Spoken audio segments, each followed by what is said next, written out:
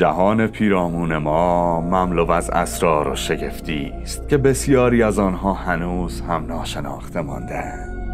یکی از این موضوعات سیاه چاله ها هستند که خودشان دنیای پیچیده ای دارند. وقتی شب هنگام به آسمان نگاه می کنیم ستارگان پرفروغی رو می بینیم که هر کدام دهها، صدها یا هزاران سال نوری از ما فاصله دارند. اما برخی از این اجرام فراتر از کهکشان راه شیری ما هستند. یکی از این اجرام کهکشان کوچک همسایه ما به نام ابر ماژلانی بزرگ است که حدود 160 هزار سال نوری از زمین فاصله دارد.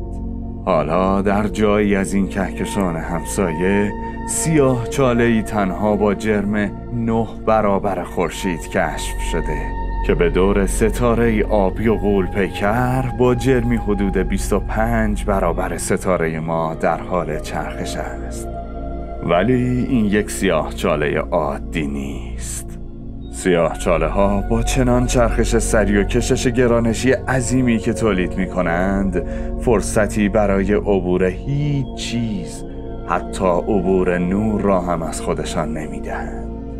در حالی که این سیاه چاله عجیب احتمالا نه موادی را می بلعد و در مقابل هیچ تابش پرتو ایکس قدرتمندی رو هم از خودش ساطع نمی کند.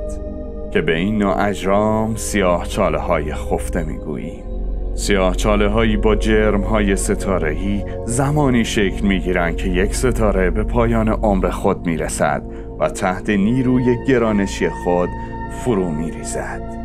پس احتمالا این سیاه چاله خفته نیز با چنین ابعاد کوچکی از یک انفجار ابرناختری به وجود آمده باشد.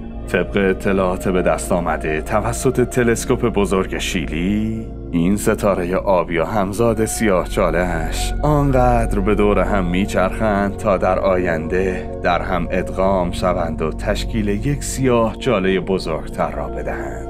پیدا کردن این سیاه چاله در میان کهکشانی خارج از راه شیری درست همانند یافتن سوزنی در انبار بزرگی از کاه است. فراموش نکنید این اجرام در فاصله 160 هزار سال نوری از زمین قرار دارند. پس ما تصویری که مربوط به 160 هزار سال پیش است را تماشا می کنیم این یعنی هزاران سال قبل از قدم گذاشتن انسان هوشمند روی سیاره زمین.